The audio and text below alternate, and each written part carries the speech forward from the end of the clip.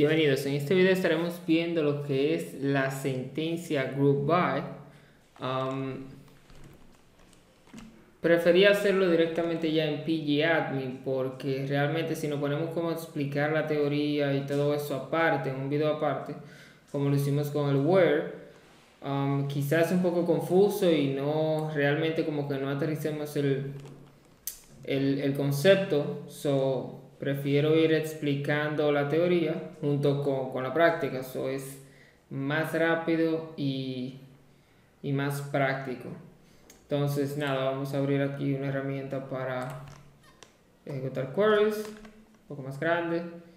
Y esencialmente, o sea, la sentencia group by es utilizada más que nada Um, como quien dice, para filtrar los resultados de un query dependiendo la necesidad o la pregunta específica que queramos responder.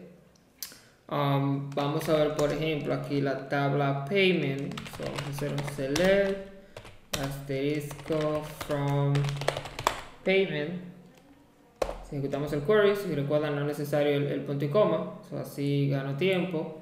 Um, aquí tenemos todos los campos, el, ID del payment, del pago, el ID del cliente que hizo el pago, el ID del empleado que realizó la venta, por decirlo así, el ID de la película que se rentó y, o sea, la cantidad que se pagó en cada transacción y la fecha que se realizó.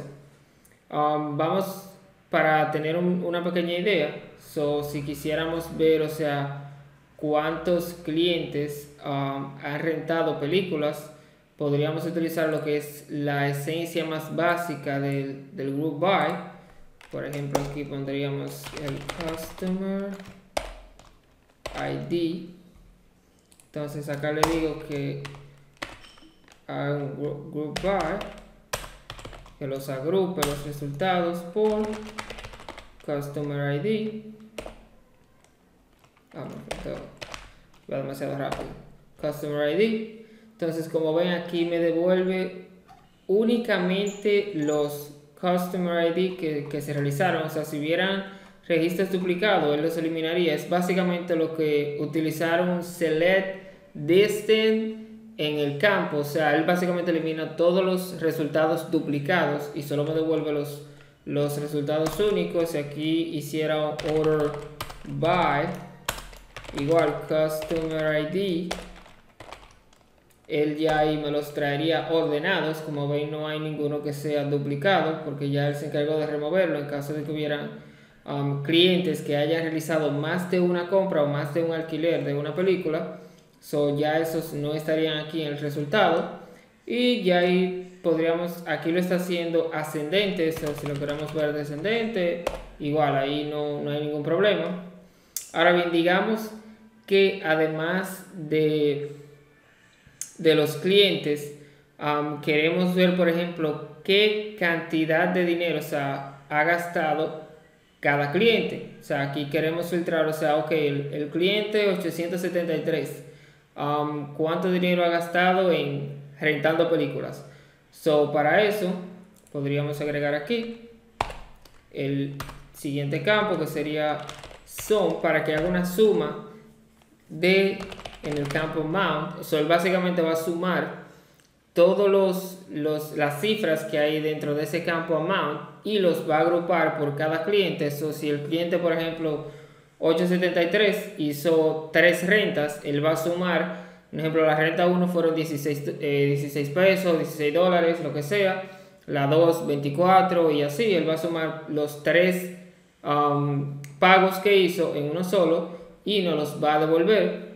Cabe resaltar que acá, dentro del group by, que es donde se está haciendo la, agrupación, no es necesario incluir el, campo amount porque está dentro de una función agregada. Si estuviéramos trayendo el campo amount sin una función agregada, sería obligatorio aunque tuviéramos que agregarlo acá en la, en la consulta.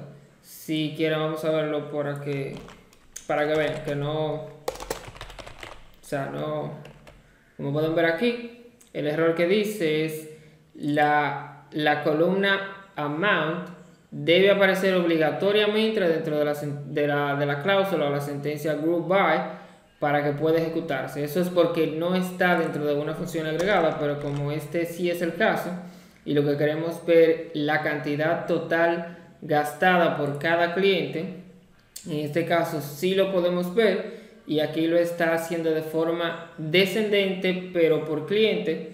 si quisiéramos ver, por ejemplo, cuál es el cliente que más ha gastado, aquí el orden debería de ser por sum, porque en este caso lo que estamos filtrando es la suma, o sea, este campo que está aquí es la suma de los pagos que se han hecho, por lo que ese es el que debemos, o sea, ese, esa misma función agregada es por la que debemos filtrar, en este campo es del amount, y como pueden ver aquí lo está haciendo descendente también, pero está ordenando por la, columna suma de la mano. Y como pueden ver aquí el cliente que más ha gastado, que más ha pagado con nosotros, es el cliente 599, luego le sigue el 583 y así sucesivamente.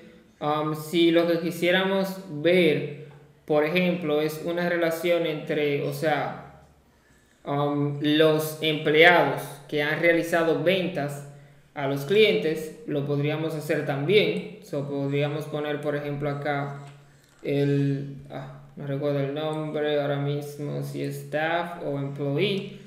So, voy a borrar acá. Asterisco from payment. Corremos y es ok, staff ID y el customer ID. So, la cantidad de ventas o compras, un ejemplo, el, cada cliente, cuántas compras ha realizado con cada miembro de, de la compañía, o sea, con cada empleado. So, aquí yo necesito igual el customer ID y el staff ID y ya acá le digo que me haga el, el group by. Y como en este caso ninguno de los campos está dentro de una función agregada como les mostré anteriormente ambos deben de aparecer dentro de la sentencia group by so de nuevo customer id y um, staff id Si lo corremos simplemente así, podemos ver aquí, o sea, que, bueno, uh, sí, o sea, el, el, cliente, o sea, el Customer ID y el Staff ID, si lo organizamos, por ejemplo, por Customer ID, podemos hacer un Order By para tener una mejor visibilidad y ordenamos solamente por Customer ID, so ahí estaríamos viendo, por ejemplo, el, el Customer con ID número 25 realizó dos compras. Um, una la hizo con el staff número 40 y la otra la hizo con el staff número 90. Al igual el 28 hizo dos, el 29 hizo dos, el 30 solamente realizó una. Con el staff 68, el cliente 31 hizo tres compras. Um, con los, o sea, los staff fueron diferentes en todo momento. Y um, si quisiéramos filtrarlo Um, en viceversa. So que me los ordene por staff ID también lo podemos hacer. So aquí podemos ver. Ok, les está ordenando este el staff ID. Um, número 15 le hizo, la, le, hizo la renta a estos clientes, al 542, 360, um, a todos esos clientes los atendió el, el, staff ID número 15, por lo que eso también podríamos, podríamos verlo si lo queremos saber. Y por ejemplo, si queremos saber también si solamente la, la, cantidad, podríamos acá agregarle la función count. Ah,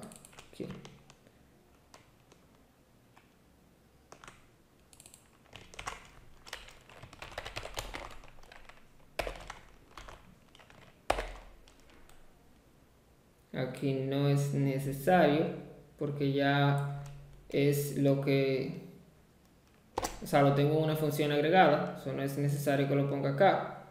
Entonces, como pueden ver, aquí estamos viendo casi el mismo resultado, pero más resumido. So, el, el, empleado con ID número 15 realizó 7 rentas. Ahí no me está dando el detalle de cuáles fueron cada uno de los, de los clientes, de los customers.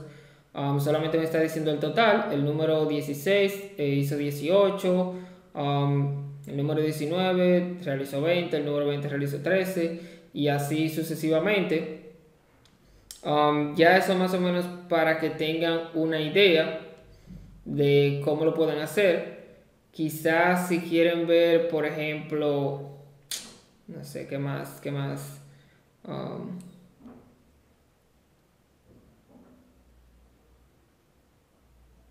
Um, ok, las, las transacciones, digamos, por, por, por empleado, por empleado, no.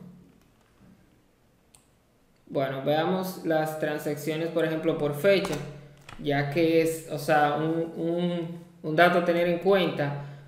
Como pueden ver, aquí tenemos, si yo selecciono, no recuerdo si es date.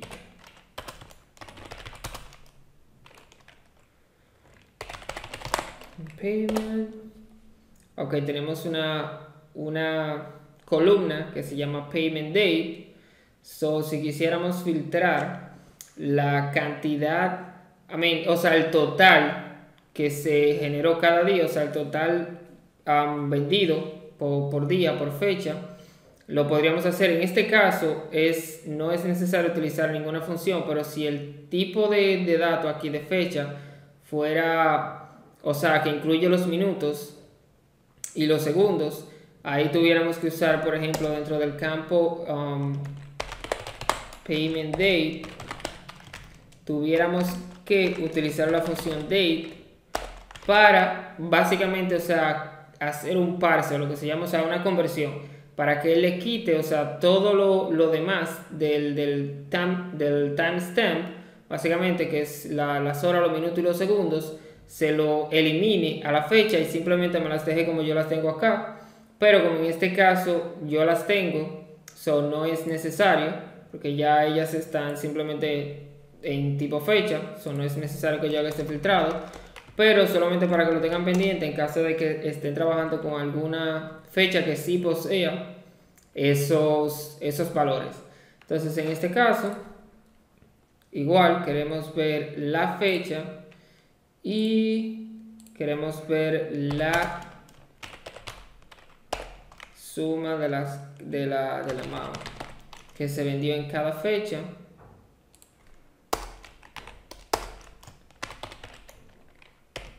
Y que me las agrupe por payment date.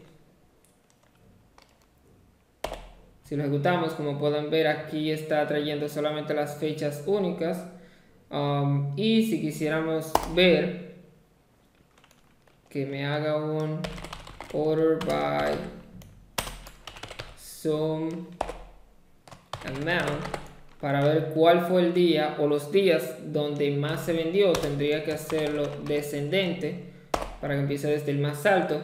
O como puedo ver aquí dice que el 21 de abril del 2020 fue el día en que se rentaron más películas o sea en que se vendió más ya que fueron 138,42 la suma total de las ventas de ese día um, si quisiéramos ver por ejemplo ¿Cuáles fueron? Vamos a ver aquí los Customer ID. Ese también tendría que agregarlo acá. Aquí para que vean cómo se ve el resultado. Aquí, ¿qué es lo que dice? Ok, falta la coma acá. Entonces aquí sí, como pueden ver, está sumando las cantidades, pero aquí order by, voy a decir que me los ordene por customer ID. Exacto, aquí como pueden ver, so básicamente él está la ordenando la, o sea, por fecha la suma total que gastó cada cliente y, o sea, pero el ordenado yo lo estoy trayendo aquí por, por cliente. So, como pueden ver, el cliente 873 realizó tres transacciones en tres fechas diferentes y la suma total en cada fecha fue de, o sea, 22, 1 y 14 y así sucesivamente. So, básicamente esta es la funcionalidad principal.